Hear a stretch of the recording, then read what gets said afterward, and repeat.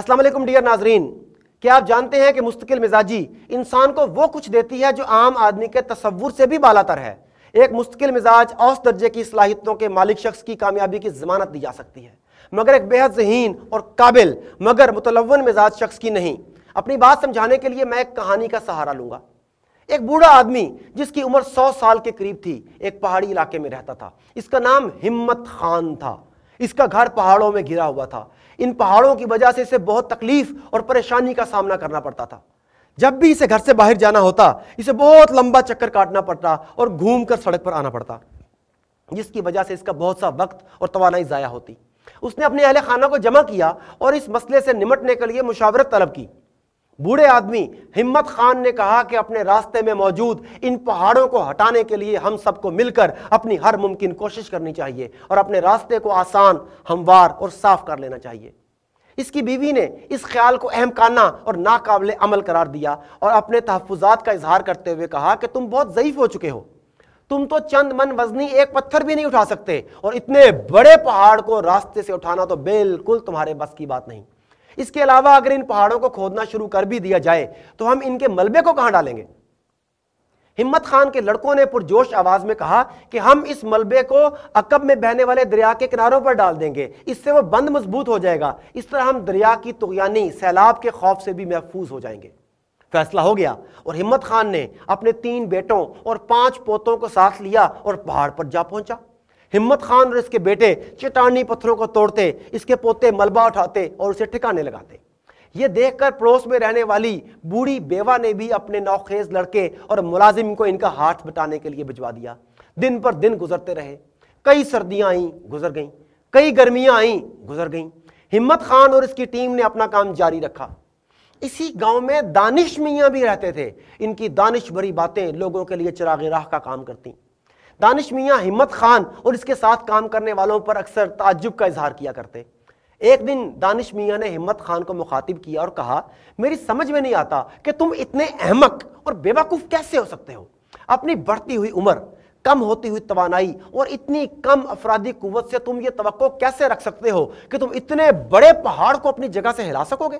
تم تو اس پہاڑ کا دس فیصد بھی اپنے راستے سے نہیں اٹھا سکتے۔ کو جا یہ کہ پورا پہاڑ کیا تمہیں یوں نہیں لگتا کہ تم اپنا اور اپنے ساتھ کام کرنے والوں کا قیمتی وقت اور توانائی ضائع کر رہے ہو؟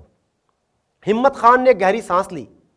دانش میاں کو افسوس بھری نظروں سے دیکھا اور کہا، دانش بھائی، مجھے یہ جان کر بہت افسوس ہوا ہے کہ تم اپنی عقل اور تعلیم کو استعمال نہیں کر رہے، جبکہ میں اپنی زندگی کے تجربے سے حاصل ہونے والے علم کو کام میں لا رہا ہوں۔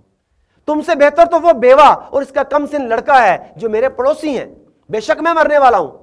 لیکن میرے مرنے کے بعد میرے بیٹے اس کام کو جاری رکھیں گے۔ ان کے بعد میرے پوتے اور ان کے بعد ان کے بیٹے، پھر ان کے بیٹے، پھر ان کے بیٹے۔ یہاں تک کہ ہم اس پہاڑ کو اپنے راستے سے ہٹا دیں گے۔ میری اولاد اور نسل تو بڑھتی رہے گی، مگر یہ پہاڑ بڑا نہیں ہوگا، بلکہ ہماری محنت کی وجہ سے چھوٹا ہوتا چلا جائے گا اور ایک دن معدوم ہو جائے گا۔ اس صورت میں میں ہمت کیوں ہاروں دانش میاں گنگ رہ گئے، انگشت بدنداں ان کے پاس بولنے کو کچھ نہ تھا۔ اگلے دن ہمت خان پہاڑ پر پہنچا تو دانش میاں پہلے سے وہاں موجود تھے۔ تو میرے دوستو، یہی سبق آپ کے لیے ہے۔ اگر آپ محنتی اور مستقل مزاج ہیں تو آپ پہاڑوں کو بھی ان کی جگہ سے ہلا سکتے ہیں۔ یہ چھوٹی موٹی پریشانیاں اور رکاوٹیں تو کچھ بھی نہیں۔ تو مائی ڈیئر ویورز ایک مرتبہ ناکامی کے امکان کے بارے میں سوچنے سے انکار کر دیجیے۔ اپنے ہدف کو مستقل مزاجی قوت ارادی اور ہمت سے تقویت دیجیے اور اپنے ہدف کے حصول اور کامیابی کے لیے دل و جان سے کام کرنے کا فیصلہ کریں۔ کسی واقعہ یا چیز کو اس بات کی اجازت مت دیں کہ وہ آپ کو پیچھے کھینچے۔ حتمی اور ناقابل شکست ارادہ کیجیے۔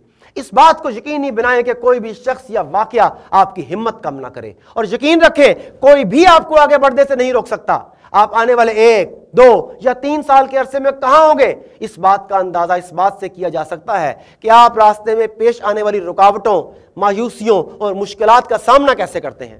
آپ کی قوت ارادی اور مستقل مزاجی اس بات کا تعین کرے گی کہ آپ کو خود پر کتنا یقین ہے ایک یونانی فلسفی کا کہنا ہے کہ حالات و واقعات انسان کو نہیں بناتے، وہ صرف اسے خود سے متعارف کرواتے ہیں۔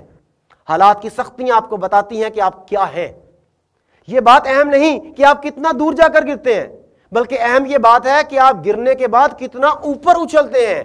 آپ کی مستقل مزاجی اور ہمت آپ کے کردار کی علامت ہے۔ سخت محنت اور نامساد حالات سے نمٹنے کی صلاحیت آپ کی کامیابی کا بنیادی عنصر ہے۔ ڈٹے رہیے۔ Thank you very much.